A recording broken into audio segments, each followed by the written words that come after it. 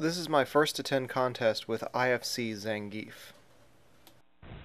If you're hanging out in a chat room in Xbox Live and you mention IFC Zangief, there's bound to be uh, two or three guys in there that have a story about getting murdered by IFC Zangief. And that's uh, really strong players too.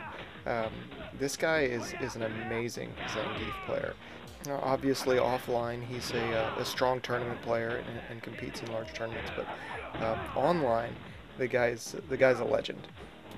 I've been really fortunate to play with IFC Zangief a lot. Uh, he's invited me a few times, and, and, he plays long sets, so you really get exposed to, to, what uh, he can do with this character, and what this character can do to you.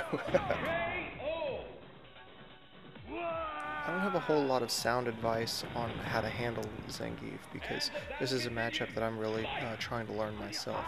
Um, I know you don't want him to jump on you because of his uh, options on jumping, and uh, you really don't want to shoot fireballs at him when he's got EX, uh, especially IFC Zangief because he is so tight with his uh, EX uh, green hand execution in, in response to fireballs. Here I wake up on, on Zangief with EX Tatsu. Um, EX Tatsu isn't that bad against Zangief because he's always messing with you on, on your wake up. He's always striking you or trying to throw you. Um, the only thing that he can do that really beats uh, EX uh, Tatsu is block or cross you up. Uh, so if he's not doing one of those two options, then it's a pretty safe bet.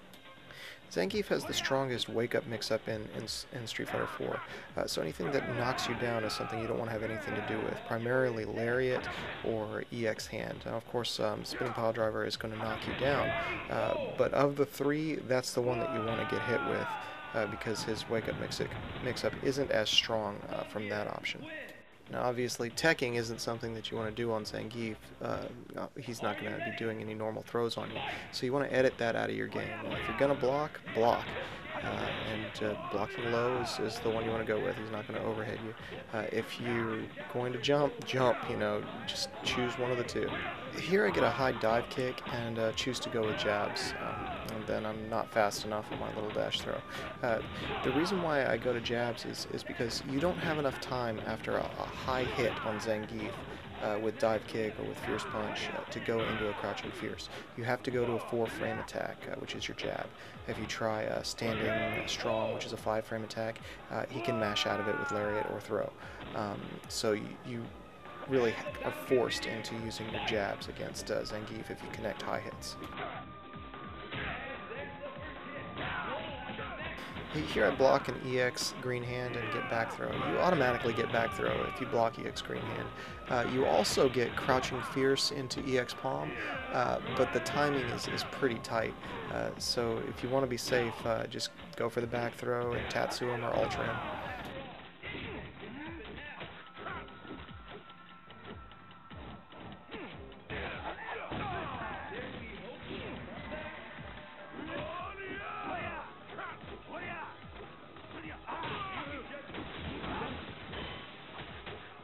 Here I block the EX green hand and suffer from the IFC Zangief effect and get jab punch instead of throw.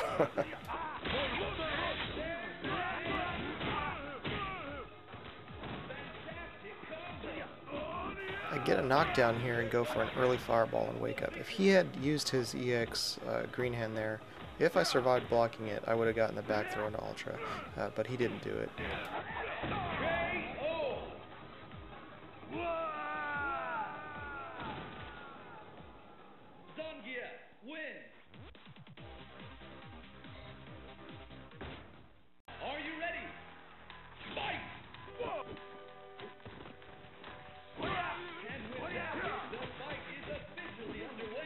Here I get crouching roundhouse on him a, a, couple of times, and it's relatively a good poke against Zangief, but, but you need to be careful because your hitbox is high uh, when you do crouching roundhouse, and, and it gets stuffed by Lariat, even at max range.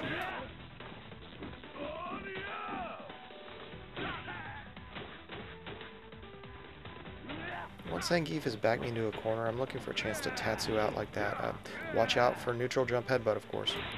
Here, uh, he gets a jump in uh, uh when I'm poking, and uh, lands his ultra from the jump in. Uh, can't ever let him jump at you like that. I should have been holding up back as soon as soon as I saw that happen.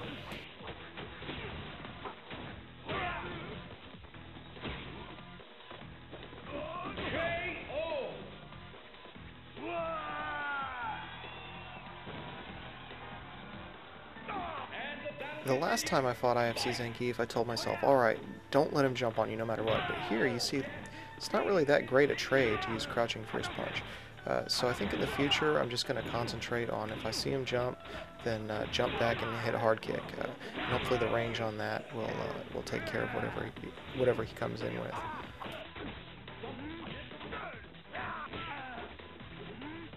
You get to see a lot of this buffered uh, crouching light kick into into EX green hand. Man, impressive.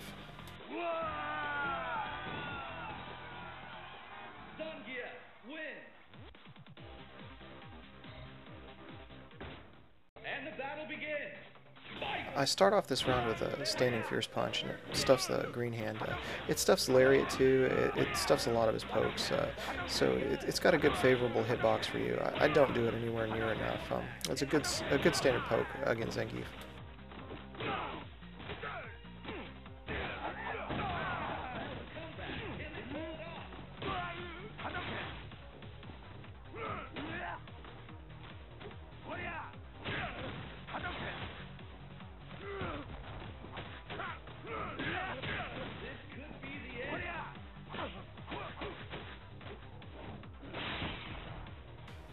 Right here, you see how that uh, Crouching Fierce whiffed?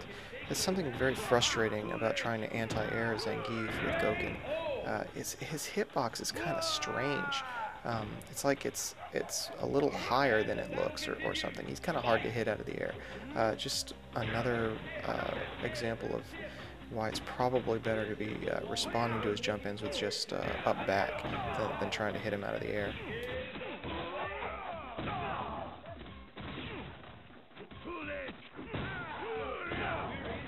When you fight against a Zangief that can do this consistently, crouching shorts and into EX green hand, um, that's the kind of Zangief you want to practice against because he has the, the full arsenal of, uh, of Zangief's pressure at his disposal. Um, you know, somebody that's just trying to, to 360 you all the time, uh, you'll, you'll, have the tendency to start jumping straight up and down on him a lot. Um, if you try to jump away from that kind of pressure, it's just going to combo you with the EX green hand and uh, start his pressure again on, on knockdown.